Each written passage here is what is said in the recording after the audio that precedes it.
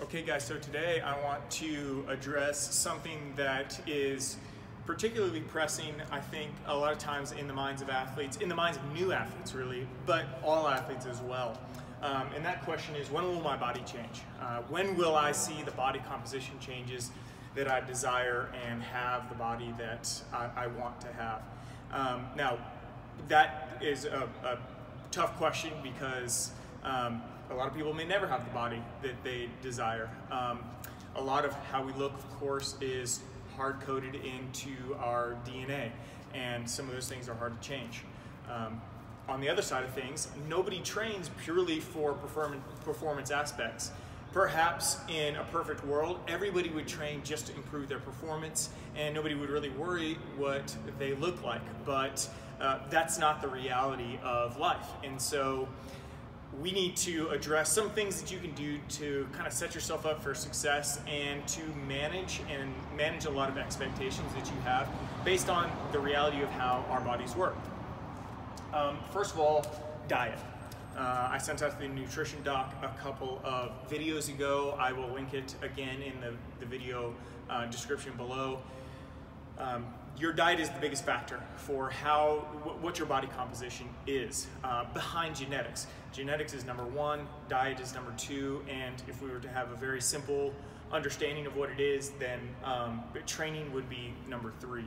Um, training is going to affect your the way that your body looks because the what the activities that you do and the type of intensity that you work at is going to determine how much and what type of adaptations that your body makes. And that's going to determine how you look. A cyclist looks very different than a bodybuilder. They have very different activities. Their body they demand very different things. They use different energy systems so on and so forth. All of these things lead to pretty drastic differences in in how you look. Um, regardless you cannot uh, overcome a bad diet simply with training, regardless of what type of training you're doing. Diet plays a bigger factor in the way that your body looks than training does. Training influences the way that your body looks, but diet is going to largely determine what your body composition is. Uh, diet is also the hardest to maintain. Training is fun, eating healthy isn't everybody wants to cheat. Everybody has days where they don't really care, whatever it may be. Um, sometimes it's just hard too. You may live in an area that doesn't really have great food options, um, whether that be on a military base or um, in a neighborhood that doesn't have food selections that really adhere to uh, what you would need to create the sort of changes in your body composition that you're looking for. Whatever the case may be, it's really hard to maintain. Also, motivation, discipline, these things all wax and wane with different uh, times of our lives. And so it's, it's difficult the, you have to do your best to set good habits and then kind of forget about everything else. Just set it and forget it. Create those good habits, know what you should be eating and about how much you should be eating, and do your best to stick to it. Uh, consistency over the course of time is going to be the most beneficial thing that you can look to do uh, in regards to that. And the longer that your, your diet has been bad, the longer it's going to take for you to reverse the changes of all of all of that um, all, the time that it's been bad. And so you have to understand that if you have been eating poorly and living a sedentary lifestyle for years and years and years, and you're just now getting into training and starting to change it around, um, even at three, six months, you may be frustrated with the type of progress that you've seen. Um, but at the same time, like you got to stick with it. You can't just give up. Um, you have to realize that it's going to take time and probably more time than, than what you desire. Another thing that we run into a lot here because we live in Austin and it has a very vibrant nightlife uh, is that we'll have athletes who come in and they train really hard during the week and then they go out and they go hard on the weekend and they drink a lot um, and they wonder, they come to us as coaches and they wonder why they're not seeing the changes that they want to see. Um, and a lot of times it can be that their alcohol consumption and generally their diet on the weekend is so bad it is sort of revert it's it's offsetting all of the positive benefits of training and really doing things normally um, during the week and so you do have to you may have to cut back a little bit. Now, of course, I'm not telling you how to live, do whatever you want, but um, just understand the impacts that that can have if you're really trying to change your body composition. Um, so let's actually talk about that a little bit. Um, let's look at outside activities in, in a, a kind of a weekly timeline. Now there are 168 hours in the week, and let's say that you spend five hours training, which is pretty reasonable. Any more than that, I mean, you're either an endurance athlete who's probably looking to be competitive, um, or you're training too much. Um, so five hours of training is, is pretty reasonable for most people um, every week. Uh, now five hours of training in 168 hours. Okay, let's just look at this proportion really quickly. Just take note of that. Let's say that you sleep eight hours a night seven nights a week, every week, that's 56 hours of that week that you're spending sleeping. That's, that's great time. That is a time investment, by the way. Um, 40 hours of working. Honestly, in America, if you're a professional who's paying for training like Atomic Athlete, uh, you're probably working longer than 40 hours, but this is the standard, so let's just use it. That leaves you 67 hours of time on your hands. What are you doing with that time? Now, the reason I point this out, really, the question of what are you doing with that time comes down to is what you're doing with that time beneficial to the body changes that you want, or is it detrimental? Uh, is that a lot of time that you that you spend sitting down in front of a computer? I, I find myself a lot of times uh, working in a computer, sitting down for much longer, and you know, of course, I get tightness in my hips, shoulders, and all those sorts of things. That's a struggle that I deal with. Um, but also my job is to be up and moving with people. And so I don't probably feel the degree of setback that I would if I had like an office job or something like that, where this 67 hours right here of whatever is off is is compounded upon this as well, where I'm just sitting for a lot of time, uh, a lot more time than I would like to sit, or being inactive for a lot more time than I would like to be inactive.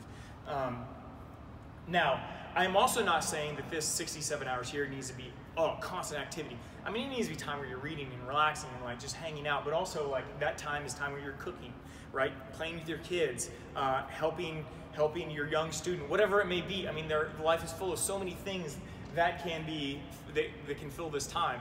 But it could also be filled with snacking or, or doing other unhealthy things that might, or drinking or whatever, whatever it may be. Uh, not that that's necessarily unhealthy in and of itself, but if it's always happening and if it, it may be a block to what you're looking to, what your goals are, right? So it's just, this breakdown is just an assessment of, hey, look how much time we have in the week. Look how little of it is spent like dedicating ourselves to uh, getting our performance dialed and, and making our bodies better. And look at how much opportunity that we have outside of that, which could negatively influence those positive changes that we're, we're looking to gain.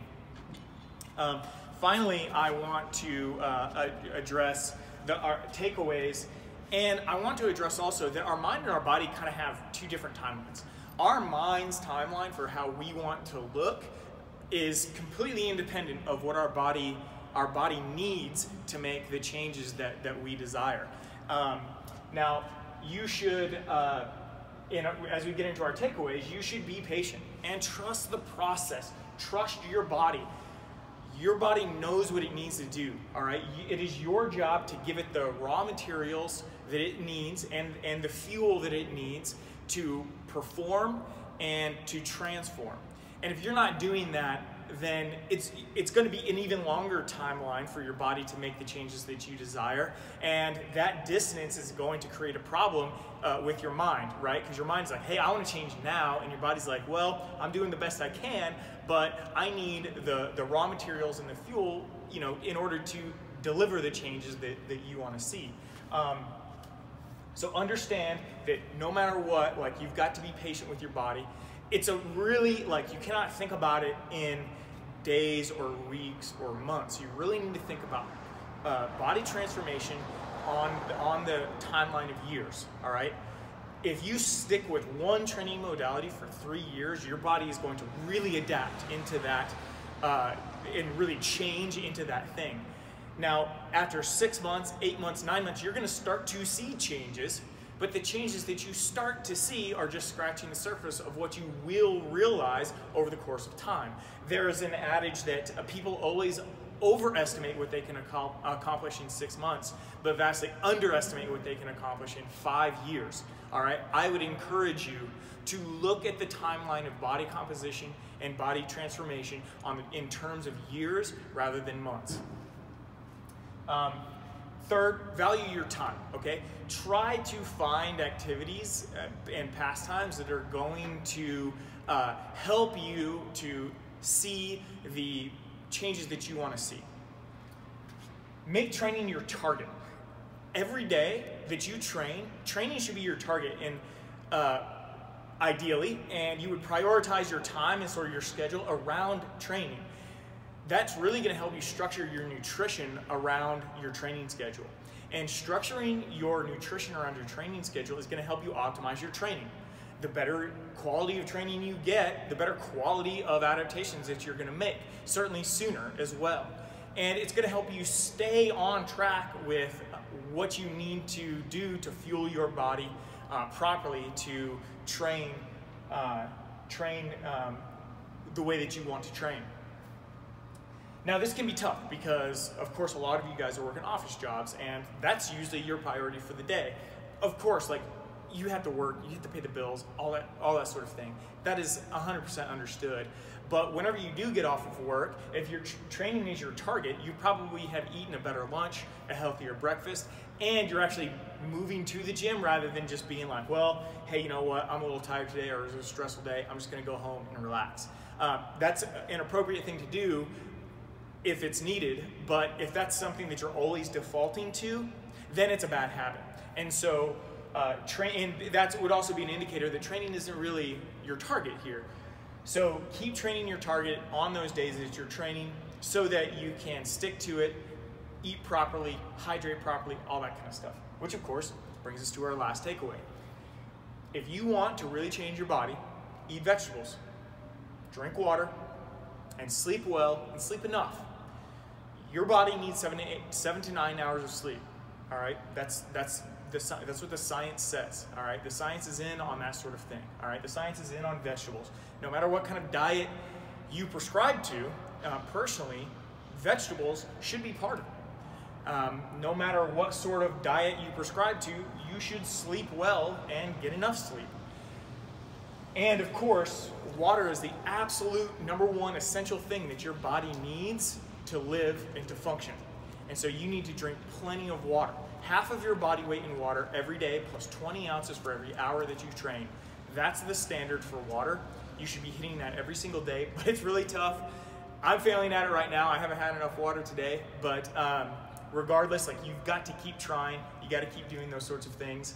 Um, these five takeaways combined with some of the some of the things we've talked about over here are going to set you on a path to seeing the body composition changes that you want to see. But regardless, you still got to be patient. Thanks, guys.